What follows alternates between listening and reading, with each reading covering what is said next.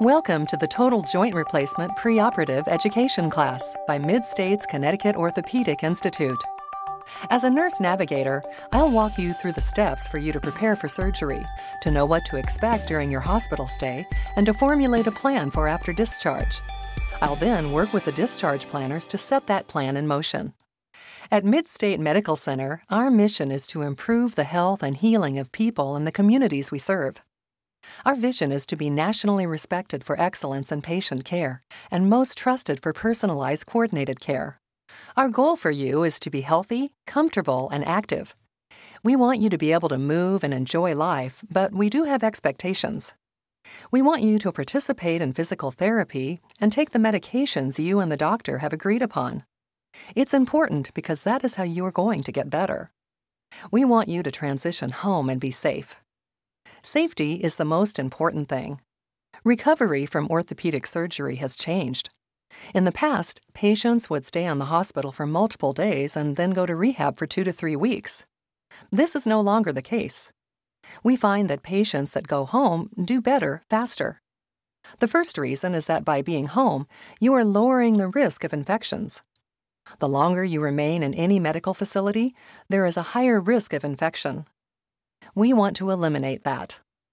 The second reason we recommend home is mobility. Patients assume that because you receive therapy twice a day at rehab that they will improve quicker. But that is not the case. For safety, a medical facility will require that you only walk around with staff.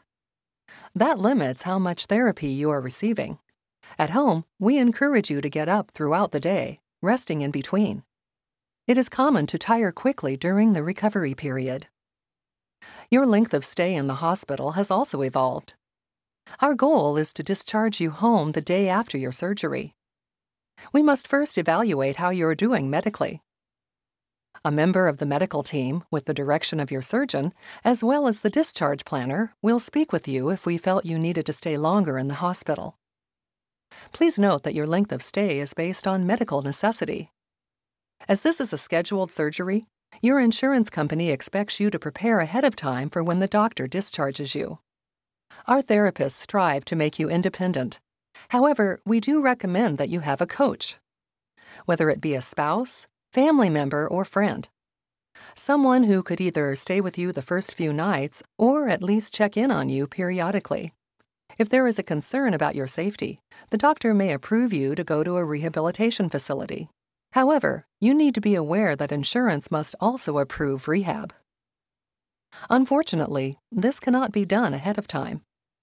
Insurance agencies will not make a decision until after your surgery, Therefore, we want to stress again the importance of preparing to return home and having a coach. We encourage your coach to be in the hospital for at least one physical therapy session. This way, they can see how best to help you. As we want you to experience a full day of therapy, we would anticipate discharge between approximately 3 and 4 p.m.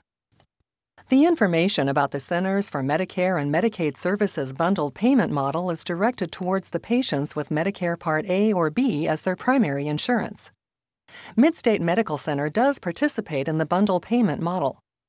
The goal of the program is to improve the quality of care delivered to Medicare beneficiaries needing joint replacement surgery, to lower the costs for the care provided for joint replacement patients, and to help shift the U.S. healthcare system towards paying for quality rather than quantity. This video is providing general information to you. Please keep in mind that your doctor may tell you something that conflicts with what you are hearing here. Always follow your surgeon's instructions. Before your surgery, you are required to see your primary doctor. If you have a cardiologist, you may need to see them as well, based on your primary doctor's recommendation. These doctors need to make sure you are medically optimized for surgery. They will also talk to you about any medications you should temporarily stop before your surgery. It is important that both your primary doctor and surgeon agree on what medications you should take before and after surgery. The most common medications that are of concern are any blood thinners or cardiac medications. Please make sure that your doctors know if you take any flaxseed, fish oil, or vitamin E tablets. These can also increase bleeding and should be stopped before surgery. You will need to have your nose swabbed prior to surgery. It is recommended you do this within 30 days before your surgery. The lab will be checking for staph, a certain type of bacteria. If you test positive, we then have time to provide you with medication prior to surgery. Your doctor will inform you of your results. Good nutrition is important before surgery. This will help make sure you will have the strength post surgery for rehabilitation. Eating healthy, well balanced meals include iron rich foods such as meat, fish, poultry, or whole grain foods, vitamin C to help absorb iron, and raw fruits, vegetables, and beans make up your high fiber foods. You should stop drinking any alcoholic beverages one week prior to surgery. This will help prevent excess bleeding. Please inform your healthcare team of your drinking history because serious harm can result from alcohol withdrawal when not properly managed. Ideally, you should stop smoking at least two weeks before your surgery. Nicotine hinders the healing process, potentially negatively affecting your surgical incision's length and quality of healing. If you need dental work, have it done at least two weeks before your surgery. After joint replacement, your surgeon may want you to take antibiotics before any future dental work. In order to prepare your home, you should temporarily remove any throw rugs. This is a fall risk while you are using a rolling walker. Please make sure you have a clear pathway from your bed to your bathroom to where you will spend most of your day. You may not feel up to cooking. Therefore, we recommend you have some meals prepared ahead of time. If you have pets, make sure you have someone that is able to assist you with their walks. Also, if you are recovering from posterior hip replacement, you will temporarily not be able to bend at the waist to clean up animal waste. The afternoon before your surgery, you will receive a call from our staff informing of your time of arrival. If you are having surgery on a Monday, they will call you on the Friday before that. It is important to drink plenty of fluids before and after your surgery. Starting midnight before your surgery, you are not to have any food or drink. Your surgeon may tell you to drink an electrolyte based drink two hours before your surgery. However, unless you are specifically told this, you must refrain from eating or drinking. If you are required to take medicine the morning of your surgery, you may do so with only a sip of water. Prior to surgery, you will need to prep your surgical site. Your surgeon will give you specific instructions on when to do this and what type of cleaning product you should use. Most commonly, you are asked to use either chlorhexidine wipes or Hibiclens cleanser. Do not shave any closer than three days before your surgery, as you may accidentally nick yourself.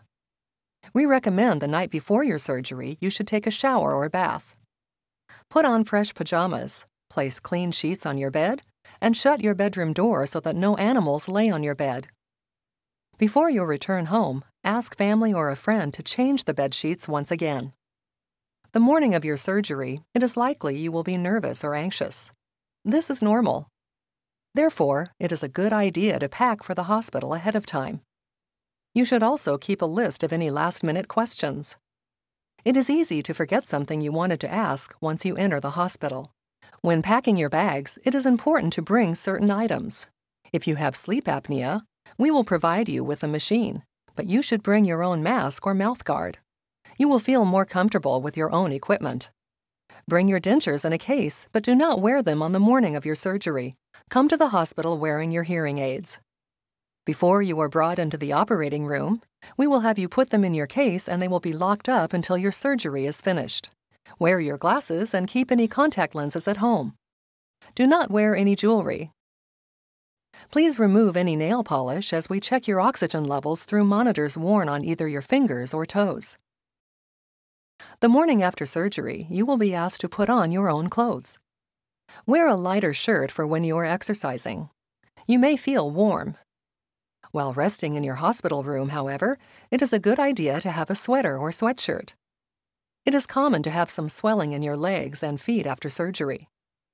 Whether you choose to wear shorts or pants, it is recommended that they do not have a button or zipper. Ones with elastic or drawstrings will be more comfortable and easier to put on. If you are having knee surgery, please make sure the bottom of your pants are not tight. The therapist needs to be able to roll up your pant leg to look at your knee. Sneakers are the ideal footwear, but you may choose to wear a different type of shoe. Your feet may be swollen, so bring your current sneakers rather than purchasing brand new ones. If you prefer other shoes, they should have a back to them.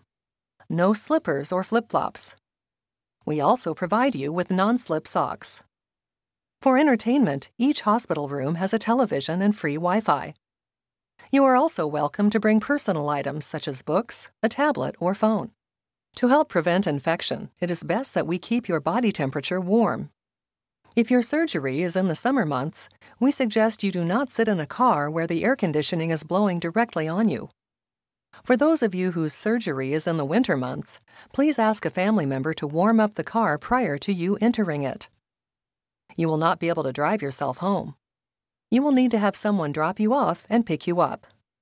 Connecticut Orthopedic Institute provides free valet parking. If you are unable to walk into the hospital, a wheelchair and transport will be provided. Please do not bring any walkers or canes unless you require them to walk into the facility.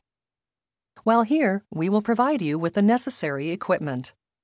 Upon entering our Orthopedic Institute, you will be shown to our registration desk.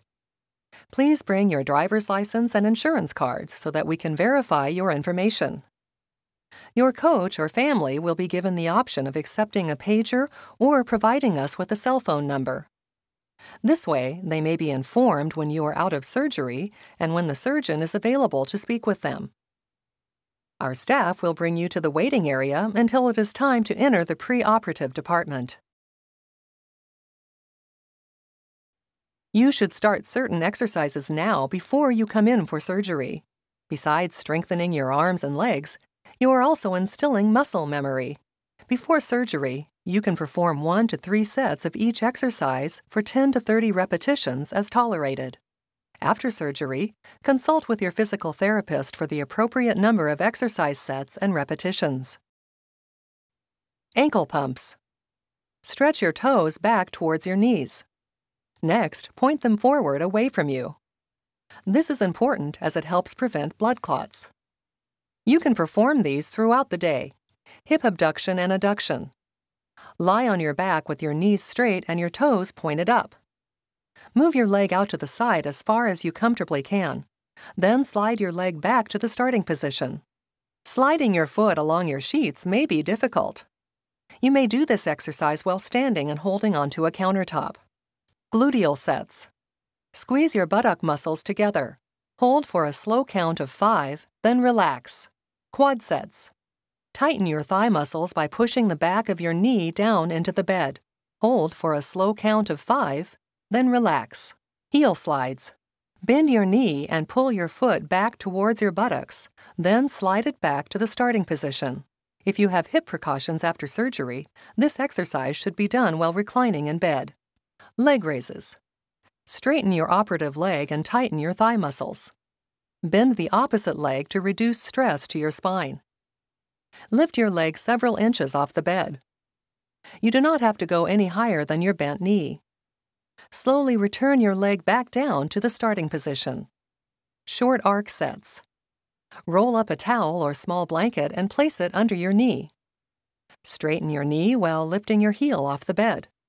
Hold this position for 5 seconds. Then bring your foot back down to the bed long arc sets. While sitting upright in a chair, straighten your knee. Hold this position for 5 seconds, then slowly return to the starting position. Modified squats. Stand while holding onto a counter or table. Bend your knees and squat, pushing your buttocks back as though you were going to sit in a chair. Knees should remain behind your toes. Maintain a straight back. If you have hip precautions, make sure you do not bend past 90 degrees. Heel raises. Stand while holding onto a counter or table. Raise your heels off of the floor, then return to the starting position.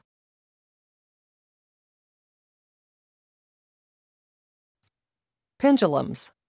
Stand while holding onto a counter or table.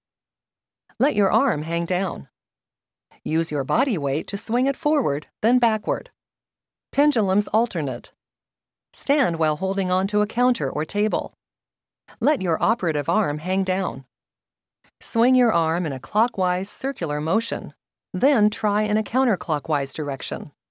Finger extension and flexion. Open your hand, spreading your fingers wide. Then curl your fingers into a fist. Elbow flexion and extension. Place your arm on the armrest with your palm facing up. Slowly bend your elbow as far as you can, then bring it back down to the starting position. Wrist flexion and extension. Place your arm on the armrest with your palm facing down.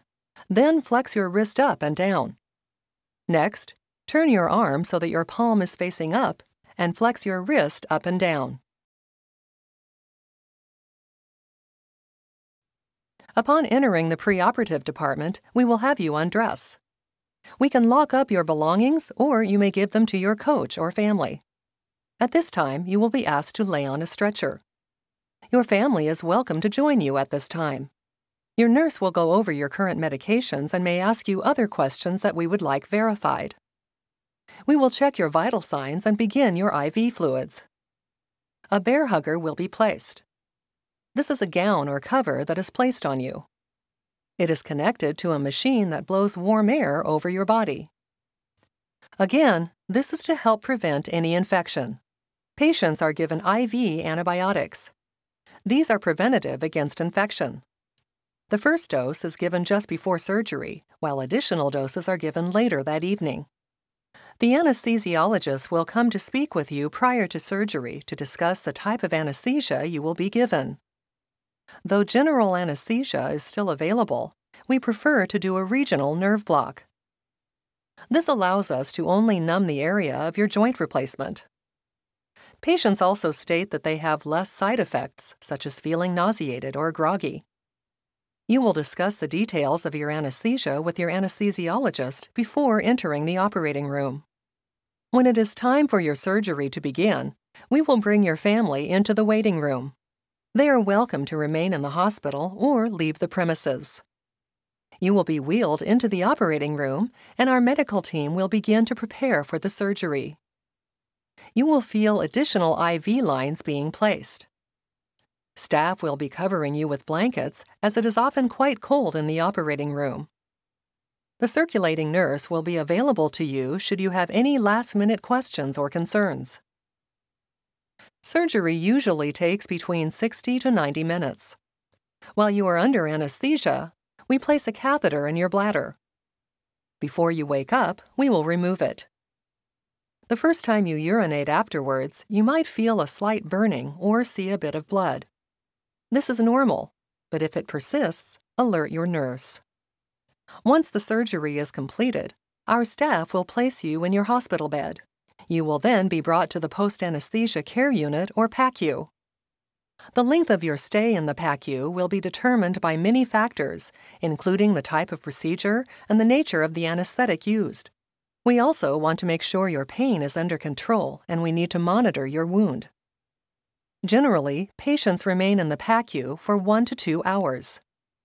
Family members are welcome to visit and will be notified by our state of the art paging system once you are ready for visitors. Next, you will be brought to your hospital room. All rooms at Connecticut Orthopedic Institute are private. We have many team members ready to care for you but with so many faces, it can get confusing. Besides wearing our badges and writing our names down on your patient whiteboard, we have also color coded our uniforms. Staff in the light blue are the physician assistants. These licensed, thoroughly trained medical providers work closely with your surgeon in the operating room and monitor your care during your entire stay. PAs examine you daily and are in continued communication with your surgeon. Nurses will be seen wearing royal blue scrubs.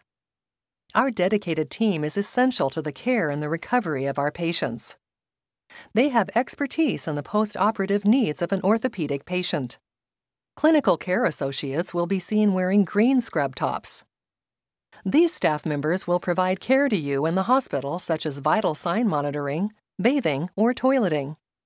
Team members wearing maroon are physical and occupational therapists. Physical therapy trains you to be safe while walking or when you transfer in and out of your bed. They will also provide you with strengthening exercises. Occupational therapy retrains you how to self care while maintaining any precautions. Environmental Services, who wear a flowered top, and our dietary partners in gray, are our valued team members who you will see throughout your stay. Our goal is to make your experience exceptional, and we strive to provide a clean environment and tasty meals. Each floor has its own private kitchen, allowing meals to be delivered swiftly and at the appropriate temperature. Once in your hospital room, your nurse will provide you with information on your surroundings and any equipment you may see. Normally, as we walk around, we use our full lung capacity. When we find ourselves laying or sitting for longer periods of time, we tend to do more shallow breathing, and this can lead to pneumonia. An incentive spirometer is a small breathing apparatus that allows you to exercise or use your full lung capacity to prevent pneumonia from occurring. Your nurse will show you how it works. We encourage you to take it home and continue with your exercises for at least one week. As stated earlier, you will be given IV antibiotics, and you may see this hanging on your IV pole. Along with that is often a bag of saline fluid. This is to prevent dehydration. Once you begin drinking fluids, we will be able to remove the saline. Patients having total hip replacement or total shoulder surgery should expect to see a white, bulky dressing to the joint. Immediately after surgery, we place extra padding to prevent drainage and the introduction of germs into the wound. Total knee replacement patients may be surprised to see not only their knee with a dressing, but rather their whole leg. To help prevent swelling, your surgeon will place an ACE wrap from hip to toes. With all of these dressings, before you return home, the physician assistant will remove the extra padding and leave a much smaller dressing in place. Each surgeon will determine the best dressing for each patient. Some may use a gauze dressing requiring periodic changes. Others may choose to use an Aquacel or Mepilex dressing that may remain on for longer periods. You will be provided with instructions on your wound care before you leave the hospital. If you are aware of any allergies to adhesives you may have, please inform your surgeon prior to surgery. While in surgery, your surgeon may decide to place a drain. There are many different types of drains. Drains will have a small tube placed near your joint and held in position by a few stitches. The tube then connects to a container that allows our staff to monitor the amount of blood and fluid coming from your wound. If this is required, it is often removed the next day. You will not be discharged home with the drain in place. Ice is very important to an orthopedic patient. It helps to decrease swelling, which then can decrease pain. Total hip or total shoulder replacement patients will be given a bag of ice placed against their dressing. Total knee patients will see two tubes coming out of their dressing. This is a cooling unit. The tubes are connected to a bladder, this is a thin, waterproof sac that is placed on the knee. The other end of the tubes are connected to a machine with ice cold water. The machine pushes the water up one tube, along the knee, and then down the other tube back to the machine. This allows a constant flow of cold water over your knee joint. For total shoulder or knee replacement patients, your doctor may order a similar machine to be used at home. This would be done by your surgeon's office so that they can discuss with you possible out of pocket costs. Whether you use a cooling machine, gel pack, or bag of ice, it is important to ice your new joint throughout the day. However, you must first place a cloth or dressing against your skin. Never have the ice bag touching your skin directly. Blood clots are a risk after surgery. When we walk around, the action of our foot hitting the ground and the contraction of our muscles help push blood back up to the heart. By sitting or laying for long periods of time, it puts us at risk for forming a blood clot. Besides medication and exercises, we have a third way to help prevent the formation of blood clots. During your hospital stay, you will be wearing sequential compression sleeves. A sleeve is placed around each calf. This is connected to a machine that slowly inflates the sleeves with air and gently squeezes your calf, helping the blood to return to your heart. After a few moments, the air will release and the sleeve will deflate. This process will then repeat. When it comes to medication, things can become confusing. In addition to your normal medicine, you will now be receiving new medications specific to your surgery. The manufacturer our hospital uses is most likely different from the one your pharmacy does. Therefore, many patients are apprehensive about taking pills that look different. Medications can also have generic or trade names. For instance, you may call your blood thinner warfarin, while our staff calls it Coumadin. Your nurse will always provide you with the name of each medication you are to be given and an explanation of its purpose. But we encourage you to ask questions. We would never want you to accept medication or a treatment you are not comfortable with. Another way to prevent blood clots is to use blood thinners. There are many different types of blood thinners, and most are in pill form, but they can also be given by injection. Prior to surgery, talk to your surgeon on their preferences for blood thinners. It is important to be aware of what you will be given and any risk or possible out of pocket costs. Our staff wants to make sure you are as comfortable as possible. One way is to keep your pain under control. We use this pain chart so that you can help guide us to how much medication is required and its effectiveness. A rating of 0 tells that you have no pain, while a rating of 10 will let us know you are in extreme pain. There are different options we can provide for pain control. The regional block given in surgery can last from 1 to 2 days. Your surgeon will order you medicine in pill form that will begin to work roughly 30 minutes after taken. Some may also prescribe long acting medication. This pill will often last 12 hours and will be scheduled for twice a day. However, if neither of these are fully helping, you may be given medicine through your IV in liquid form. This is a fast acting medication designed to get you over the hump while we try to adjust your other pain medication. You will not be allowed to have the IV medication at home. Some patients find that anti inflammatories work well. By decreasing the swelling, you can decrease your pain. We have already spoken on a few ways we try to prevent infection. Staph testing, chlorhexidine or CHG wipes, and keeping your body temperature warm. But most importantly is hand washing. Whether in the hospital or home, it is imperative that you and your family maintain good hand washing. To wash your hands properly, you should be wetting your hands and applying soap. Rub your hands well. Remember to get between your fingers and under nails. While washing, you should sing Happy Birthday to make sure you are doing this for the correct length of time.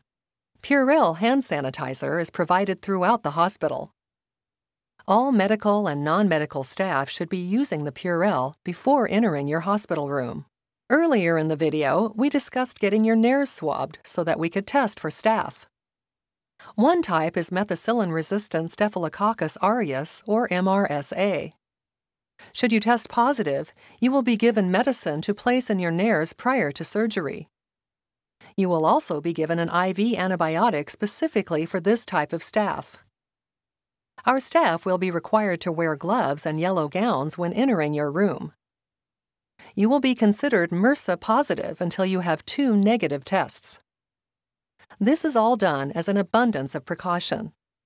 We have a lot to accomplish in the short time you are with us at the Connecticut Orthopedic Institute.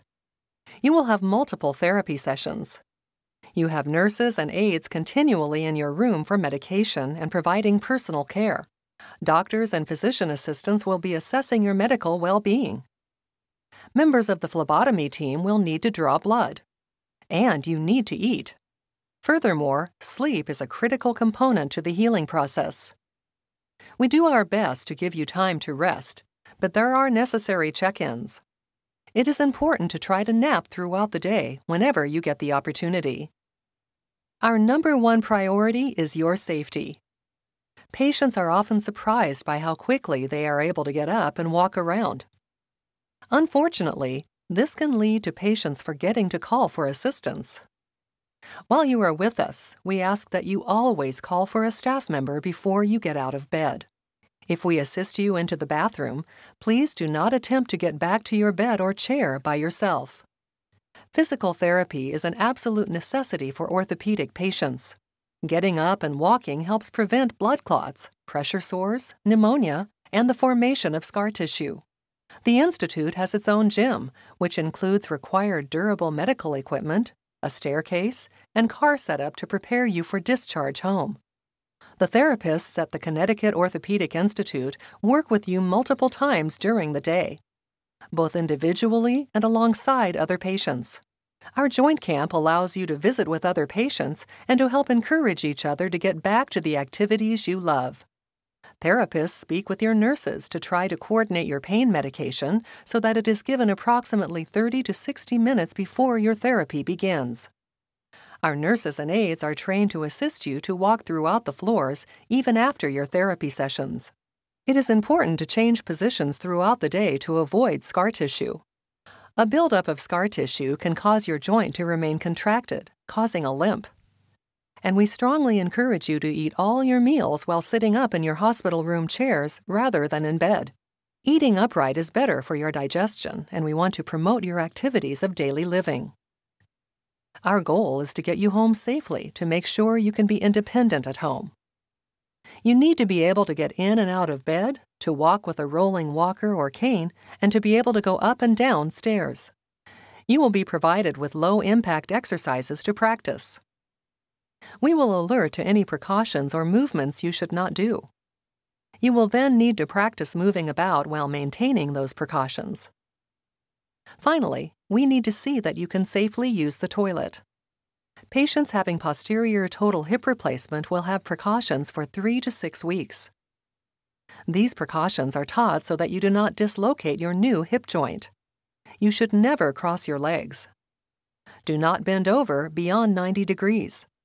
This can be tricky going from a sitting to standing position. Our therapist will teach you the best way to do this. Do not rotate feet excessively inward or outward. Do not twist at the waist. For total knee replacements, when crossing your legs, it can put a lot of stress on the outside and inside of your knee. From your hip to your ankle is a no pillow zone. Extension, or how straight your leg is, is very important. If you don't get full extension, meaning zero degrees, you will walk with a limp. A pillow underneath your knee can cause the muscle to tighten and cause a contraction. Instead, place a pillow underneath your ankle. This will help gravity push your knee straight. Total shoulder replacement patients should not bear weight on the operative arm. Your arm will be placed into a sling or shoulder immobilizer, and you should not attempt to rotate your arm outwards or towards your back. The two main pieces of equipment for total knee and total hip replacements is a rolling walker and cane. Your walker should only have wheels in front. Walkers with no wheels or ones with four are dangerous after this type of surgery and may cause a fall. Your cane should be adjustable, if it is not at the correct height, you can slowly hurt your back. It should also be a single point at the bottom. Canes that stand up on their own are not recommended as they cause a higher risk of tripping and can perpetuate a limp. Each insurance company has their own policies on what equipment they will cover. You may call your insurance company in advance, or our nurse navigator and case managers can assist you once you are in the hospital. Equipment can be ordered while you are in the hospital and delivered to your room.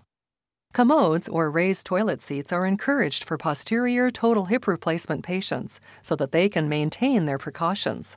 However, if your toilet is very low, any patient can request these items and we can verify insurance coverage. A hip kit is also recommended for posterior total hip replacement patients to maintain precautions. These are not a covered item and must be paid out of pocket. It is also possible to purchase this item on Amazon. A hip kit should include a reacher, sock aid, long handled sponge, long handled shoehorn, and elastic shoelaces. These items can also be purchased separately. Our occupational therapist will assist you in learning how to use these tools. Your doctor will let you know when you may shower. Shower chairs and tub transfer benches are not covered items. Though they can be ordered while in the hospital, they tend to be more costly. You may want to compare pricing at your local medical equipment store or online. If our staff is concerned about your ability to move safely, we will speak with you about short term rehab. It is recommended that you do not remain there for more than one week, but again, your safety is the number one concern. Your surgeon and insurance company must approve you go to a skilled nursing facility. Once approved, it is your choice which one you will go to, though they must be in network with your insurance. The social workers at the Connecticut Orthopedic Institute will help facilitate this process. They will contact the rehabilitation facility and your insurance company. They may also request transport. Please note, most insurances do not cover the cost of transport from the hospital. Family is allowed to transport you, but if you wish for a medical transport, an out of pocket cost will ensue. When it's time for you to leave the hospital, you will have a discharge folder. It will have all your medical instructions for wound care, your medication regimen, and your prescriptions. Hospitals are not allowed to call narcotics into pharmacies. You or your coach will have to bring it to your pharmacy. Your nurse will sit down with you and your coach to go over all of your instructions.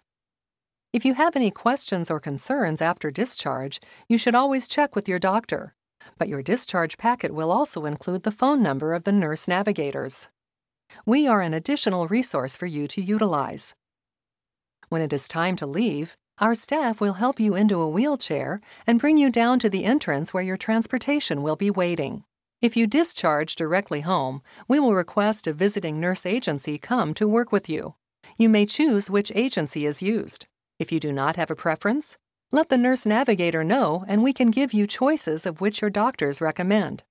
Hartford Healthcare at Home, a part of our healthcare system, is considered one of our preferred providers. If you are interested, we will check if they service your town. If you plan on staying with a friend or family, please make sure you provide us with their address so that we send the home care staff to the correct home. A nurse and physical therapist will be provided. They visit your home for two weeks. How often they come is determined by your surgeon. We will provide that information in your discharge folder, as well as discuss it with you prior to you leaving. Though occupational therapy or home health aides are not normally requested, we can do so if there is a medical need. While in the hospital, both your physical and occupational therapist will be in communication with the medical team and nurse navigator to determine what is required for home. Total shoulder replacement patients do not often receive home care services. If our therapist is concerned about your mobility or safety, we may send a therapist to your home once or twice for a home safety evaluation. Most often, though, you will wait until your surgeon allows you to go to outpatient therapy. After the two weeks, you should be able to go to outpatient therapy. You may go to your surgeon's office if they have a therapy staff, or anywhere else you may choose. How long you are in outpatient therapy depends on how quickly you improve. Your surgeon and therapist will make that decision. As each insurance policy is different, we recommend you call your insurance benefits line and ask how much home therapy you are entitled to. Please make sure to also inquire if those visits also include the outpatient therapy. There are certain policies that combine both home and outpatient services. Upon discharge, our nurse navigators will be calling you periodically. We want to answer any questions or concerns. We want to make sure the home care staff or rehabilitation facility is doing their job appropriately. Most of all, we want to assist you so that we can prevent any unnecessary return visits to the hospital. We are honored that you are choosing and trusting the Connecticut Orthopedic Institute for your orthopedic care. We hope you found this information helpful. We look forward to meeting you and delivering a world class, exceptional experience.